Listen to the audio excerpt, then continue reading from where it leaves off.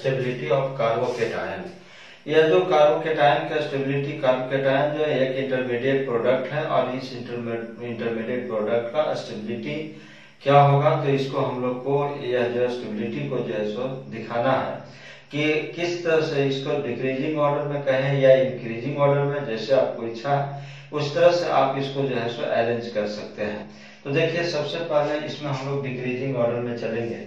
मतलब सबसे ज़्यादा किसका, कौन स्टेबल होगा, उसके बाद कौन होगा, सबसे कम कौन स्टेबल होगा। तो यानी यहाँ से हम लोग लिख सकते हैं डिक्रीजिंग ऑर्डर डिक्रीजिंग ऑर्डर इस डिक्रीजिंग ऑर्डर में इसका जो सीक्वेंस हम लोग कैसा लिखेंगे तो देखिए, सबसे पहले ये पॉजिटिव चार्ज जो है, यहाँ पर दो फिनाइल ग्रुप लगा हुआ है, एक मिथाइल ग्रुप लगा हुआ। मतलब यह जो कार्बन जो होगा, वो कार्बन जो है सो थ्री डिग्री कार्बन कहलाएगा।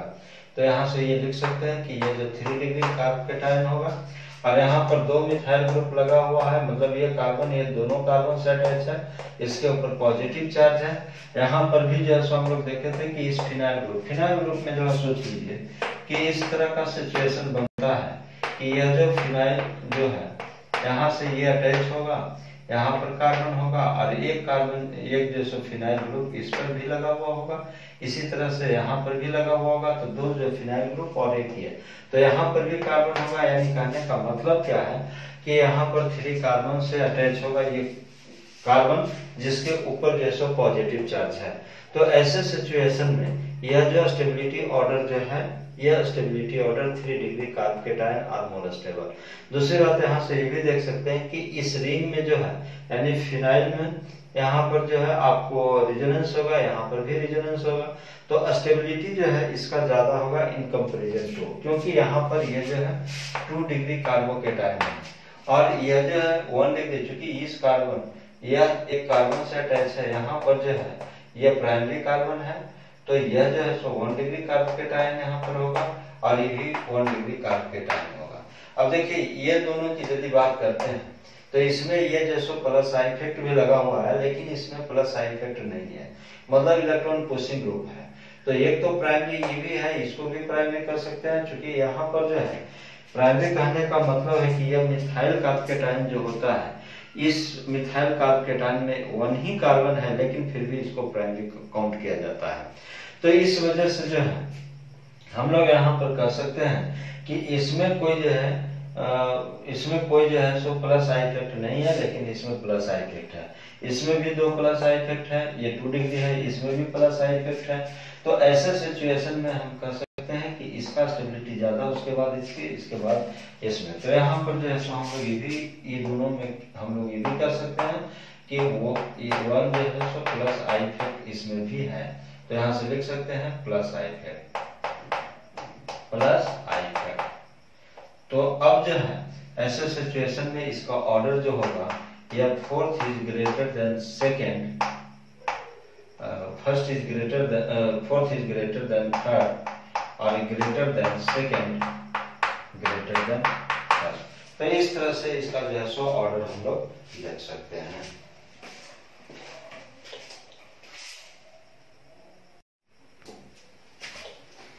तो इस सेकेंड केस जो है, इसमें आप देख सकते हैं कि यह जो है सो थर्ड और ये जो होगा फोर्थ मतलब कि इसमें जो पूछ रहा है स्टेबिलिटी ऑर्डर की सबसे ज़्यादा किसमें? यहाँ पर भी देखिए कि यह जो कार्बन जो है, ये टू डिग्री है। यह साइक्लो कंपाउंड है। तो यहाँ पर सभी का सभी जो है साइक्लो कंपाउंड है। लेकिन अंतर क्या है? कि देखिए कि यह जो है, इसमें भी यह कार्बन जो होगा टू कार्बन से अटैच है टू डिग्री कार्बोकेटाइन बनेगा। यहाँ पर भी ये दो कार्बन से अटैच है टू डिग्री कार्बोकेटाइन बनेगा और यहाँ पर ये कार्बन टू कार्बन से अटैच है ये भी टू डिग्री कार्बोकेटाइन और ये भी जैसे टू डिग्री कार्बोकेटाइन है।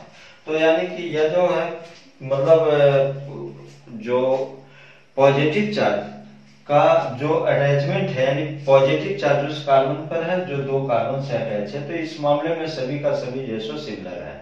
तो इस पर हम इसको डिफ्रेंशिएट नहीं कर सकते हैं। और नहीं तो इसका स्टेबिलिटी ऑर्डर को रिप्रेजेंट कर सकते हैं कि हाँ इसका स्टेबिलिटी ऑर्डर यानी इस पर जो है सो डिपेंड कर रहा है। अब यहाँ पर एक अदर फैक्टर भी है कि यह साइक्लो कंपाउंड है तो साइक्लो कंपाउंड में एंगल स्ट्रेंथ बढ़ जाता है। तो मतलब कि जो मोस्ट कॉमन हम लोग को यह जो है सो सिक्स कार्बन का साइक्लो कंपाउंड मोस्ट कॉमन होता है। रीजन क्या है? कि यहाँ पर जो है, इसमें एंगल स्ट्रेन कम है। तो जिसमें एंगल स्ट्रेन कम होगा, वह ज़्यादा स्टेबल होगा। जिसमें एंगल स्ट्रेन ज़्यादा होगा, वह कम जो है सो स्टेबल होगा। और जिसमें एंगल स्ट्रेन कम होगा वो ज़्यादा स्टेबल होगा। मतलब पॉजिटिव चार्ज इस कार्बन के ऊपर है तो ये ज़्यादा इसका स्टेबिलिटी होगा इन कंपेरिजन टू और इसका स्टेबिलिटी ज़्यादा होगा इन कंपेरिजन टू और इसका स्टेबिलिटी ज़्यादा होगा। तो यहाँ से इसका भी जो है हम लोग डिक्रीजिंग ऑर्डर में यदि लिखते हैं तो यह जो डिक्रीजिंग ऑर्डर में इसका स्टेबिलिटी ऑर्डर का जो है सो हम लोग सीक्वेंस जो देखेंगे तो यहाँ से लिख सकते हैं four is greater than third और third is greater than second greater than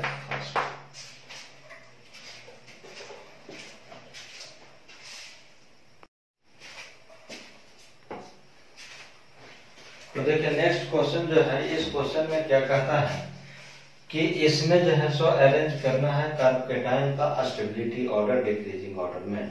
तो यहाँ पर जो है, हम लिखेंगे पहले, सबसे पहले इसको जो है हम लोग यह देख ले कि किसमें जो है, किसका स्टेबिलिटी ज़्यादा होगा। तो देखिए, यहाँ पर ये क्वेश्चन थोड़ा सा कॉम्प्लेक्स दे दिया है क्योंकि इसमें कई कॉन्सेप्ट मिला हुआ है।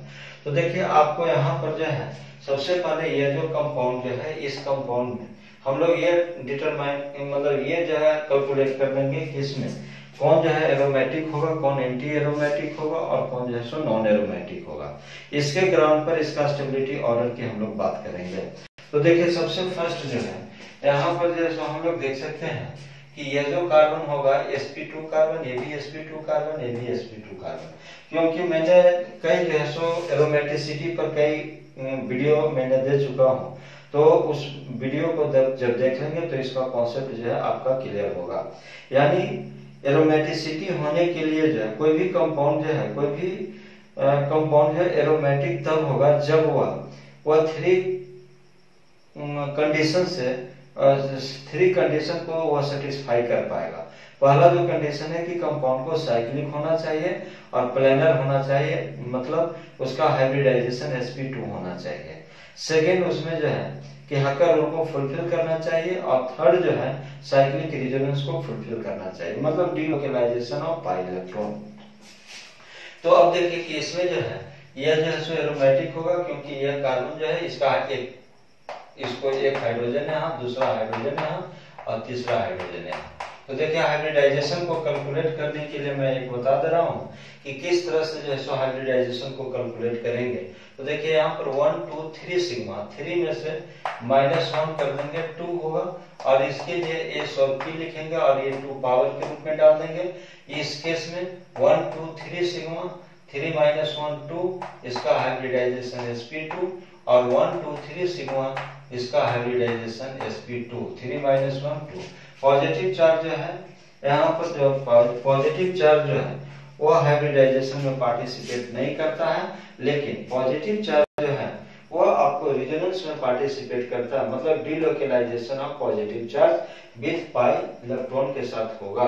लेकिन यह जो है सो हाइब्रिडाइजेशन में पार्टिसिपेट नहीं करता है। तो इसका मतलब है कि फ़र्स्ट कंडीशन जो क्लोज चेन तो है साइक्लिक है, और सभी का हाइब्रिडाइजेशन इनसाइड द रिंग में जितने भी एटम है, सभी का हाइब्रिडाइजेशन sp2 आ रहा है। तो इसका मतलब है कि यह जो है सो फ़र्स्ट रूल को फुलफिल कर दिया। सेकेंड रूल में कहता है हकर रूल का जो हकर यानी four N plus two pi electron odd number of pi bond आना चाहिए मतलब कि यदि कोई कंपाउंड एरोमेटिक है तो वह जो है सो हकर रूल को फुलफिल करना चाहिए। यानी हकर रूल में हम कर सकते हैं कि नंबर ऑफ़ पाइबोन जो होगा, वो ऑड मल्टीपल में आएगा। तो इसमें नंबर ऑफ़ पाइबोन जो है, एक ही है, यानी ऑड नंबर तो यानी सेकंड रूल को भी फुलफिल करता है। और थर्ड रूल साइक्लिक रिजोनेंस ये बॉन्ड यहाँ शिफ्ट करेगा तो पॉजिटिव चार्ज यहाँ पर चला जाएगा। और फिर ये जो यहाँ पर आएगा तो ये जैसा मतलब इसका रिजोनेंस रिजोनेटिंग स्ट्रक्चर जब लिखेंगे तो यहाँ से ये शिफ्ट करेगा, और ये चला जाएगा यहाँ पर। इसका मतलब है कि इसका स्ट्रक्चर जो है सो ये बनेगा फिर यहाँ से आप देख सकते हैं कि ये बॉन्ड यहाँ पर शिफ्ट करेगा तो ये चला जाएगा यहाँ पर। मतलब इसका स्ट्रक्चर जो होगा, आपको इस तरह से होगा, और फिर ये बॉन्ड यहाँ पर शिफ्ट करेगा तो ये चला जाएगा यहाँ पर। यानी कि इसका स्ट्रक्चर जो फिर, जो पहले का जो स्ट्रक्चर था, इस तरह का स्ट्रक्चर बनेगा। तो इस तरह से यह जैसे रिजोनेंस को शो कर है जो रिजोनेंस जो है ओपन चेन में होता है, उसको केवल रिजोनेंस बोलते हैं। और जो क्लोज चेन में होता है रिजोनेंस उसको हम लोग कहते हैं साइक्लिक रिजोनेंस तो इसीलिए यहाँ पर साइक्लिक रिजोनेंस को भी शो कर रहा है। इसका मतलब है तीनों कंडीशन को फुलफिल कर रहा एरोमेटिक होगा। तो यहाँ से आप लिख सकते हैं कि यह जो कंपाउंड है यह एरोमेटिक है। अब इस कंडीशन में देखिए कि इसका हाइब्रिडाइजेशन यहाँ पर कुछ नहीं है। तो यहाँ पर जो है दो हाइड्रोजन होगा तो इसका हाइब्रिडाइजेशन जो है sp3 होगा, क्योंकि यहाँ पर जो देख सकते हैं कि four sigma four minus one करेंगे थ्री हाइब्रिडाइजेशन sp3 लेकिन यहाँ पर वन हाइड्रोजन होगा तो यहाँ पर हाइब्रिडाइजेशन sp2 बन जाएगा, यानी sp2 होगा, इसका भी हाइब्रिडाइजेशन sp2 होगा, और इसका भी हाइब्रिडाइजेशन sp2 होगा। तो यह जो है हाइब्रिडाइजेशन को फुलफिल नहीं कर रहा है sp3 हाइब्रिडाइजेशन है, यानी कि साइक्लिक तो है, लेकिन यह सिचुएशन को फुलफिल नहीं कर रहा तो ऐसे सिचुएशन में अब यहाँ पर देख सकते हैं कि देखिए तो यह जो है सो डबल सिंगल पॉजिटिव फिर सिंगल सिंगल अल्टरनेट पोजीशन पर नहीं है साइक्लिक रिजोनेंस भी नहीं होगा कंप्लीट तो इसका मतलब है दो कंडीशन को फुलफिल नहीं कर रहा है, इसको लिखेंगे नॉन एरोमेटिक नॉन एरोमेटिक अब इसके बाद यहाँ पर यदि देखते हैं तो देखिए यहाँ पर जो है, सभी का जब हाइब्रिडाइजेशन काउंट करेंगे तो सभी का हाइब्रिडाइजेशन sp2 होगा। यानी इसके लिए भी sp2 इसके लिए भी sp2 और इसके लिए भी हाइब्रिडाइजेशन sp2 इसके लिए भी sp2 और इसके लिए भी हाइब्रिडाइजेशन sp2 क्योंकि हाइब्रिडाइजेशन कैलकुलेट करने का मैंने तरीका बता चुका हूँ फिर जो मेरे वीडियो लेक्चर में जो है हाइब्रिडाइजेशन का बहुत अच्छा कॉन्सेप्ट दिया है। आप उसमें आप देख सकते हैं कि किस तरह से हाइब्रिडाइजेशन कैलकुलेट करेंगे। और एक हाइब्रिडाइजेशन कैलकुलेट करने का तरीका मैं सिखा चुका हूँ। तो अब ऐसे सिचुएशन में यहाँ पर जो है सभी का हाइब्रिडाइजेशन sp2 इसके बाद साइक्लिक कंपाउंड है फ़र्स्ट रूल को फुलफिल लेकिन हकर रूल यहाँ पर जो है सो दो जो पाइबोन है, और दो पाइबोन है, इसका मतलब even number of pi bond Huckel rule को फुलफिल नहीं करेगा। तो इसका मतलब है कि इसको लिखेंगे एंटी एरोमेटिक यहाँ से ये बन गया एंटी एरोमेटिक अब इसकी यदि बात करते हैं तो यहाँ पर जैसे देख सकते हैं, यहाँ पर जो हाइब्रिडाइजेशन sp2 होगा, और यह जो इनकम्प्लीट जो है रिजोनेंस होगा तो ऐसे सिचुएशन में यह नॉन एरोमेटिक होगा। इसको लिखेंगे नॉन एरोमेटिक यहाँ पर जो sp2 हाइब्रिडाइजेशन यहाँ पर यदि बात करते हैं तो sp सॉरी sp3 हाइब्रिडाइजेशन यहाँ पर क्योंकि दो हाइड्रोजन होगा, यहाँ पर हाइब्रिडाइजेशन sp2 यहाँ पर यदि हाइब्रिडाइजेशन काउंट करेंगे sp2 यहाँ पर हाइब्रिडाइजेशन sp2 यहाँ पर भी हाइब्रिडाइजेशन sp2 और यहाँ पर हाइब्रिडाइजेशन sp2 सभी कार्बन का हाइब्रिडाइजेशन sp2 लेकिन एक कार्बन जो है, इसका हाइब्रिडाइजेशन sp3 होगा। तो इसलिए यह जो है तो नॉन एरोमेटिक होगा कंप्लीट रिजोनेंस भी नहीं होगा, और इस कंडीशन में यह जो है सभी का हाइब्रिडाइजेशन इसका काउंट करेंगे तो sp2 इसका भी sp2 होगा, इसका भी हाइब्रिडाइजेशन sp2 और इसका भी हाइब्रिडाइजेशन sp2 इसका भी हाइब्रिडाइजेशन sp2 इसका भी sp2 होगा, और यहाँ पर भी sp2 यानी ये सभी कंडीशन को फुलफिल किया साइक्लिक रिजोनेंस तो है, और कंप्लीट जो है सो delocalisation of pi electron with positive charge मतलब ये यहाँ जाएगा तो पॉजिटिव चार्ज यहाँ जाएगा। तो इस तरह से रिजोनेंस भी होगा, और यहाँ पर थ्री जो है सो पाइबोन और नंबर ऑफ़ पाइबोन यानी हक्कर उसको भी फुलफिल करेगा। तो इसको हम लोग लिखेंगे एरोमेटिक यानी ये जो बनेगा एरोमेटिक होगा। तो अब यहाँ से जो है सो आप लिख सकते हैं। यहाँ से descending sorry decreasing order of decreasing order of stability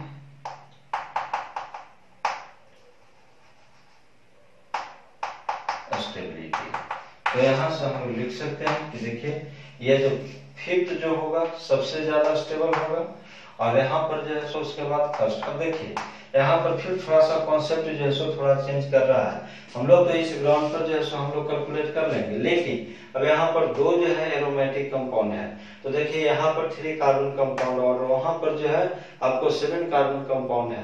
तो इस वजह से इसमें रिंग जो रिंग स्ट्रेन जो होगा, वो ज़्यादा होगा इन कंपेरिजन टू तो ऐसे स्टेबल तो होगा ही होगा, लेकिन यहाँ पर जो है स्ट्रेन भी रिंग में ज़्यादा होगा, यानी इसको कहेंगे एंगल स्ट्रेन ज़्यादा होगा इन कंपेरिजन टू ये जो है सो इस कंपाउंड के। लेकिन दोनों के दोनों स्टेबल होगा। तो ऐसे सिचुएशन में यह fifth are more stable than first और इसके बाद जो है, फिर स्टेबिलिटी जो है सो नॉन एरोमेटिक तो नॉन एरोमेटिक भी दो है यहाँ पर, लेकिन इसमें ये फोर कार्बन कंपाउंड का साइक्लिक कंपाउंड है, ये सिक्स कार्बन का।